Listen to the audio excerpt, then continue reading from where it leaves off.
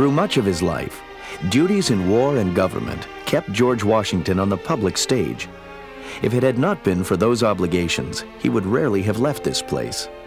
And in the same way that his dynamic character helped to shape a young America, here at Mount Vernon, here at home, his strong personality shaped the mansion and the estate to reflect his own individual philosophy and interests.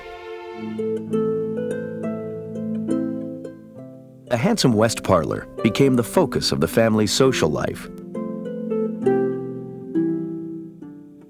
This is where family portraits were hung, and in the ornate pediment above the mantel is a carving of the Washington coat of arms.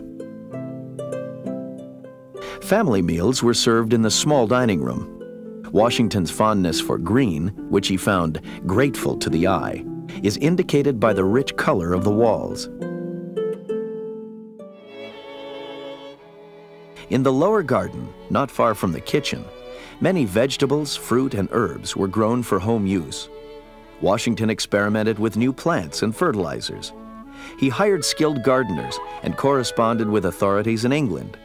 He tested crop rotation and replaced tobacco, which depleted the soil, with wheat as the plantation's staple crop. He became one of the most progressive farmers in America.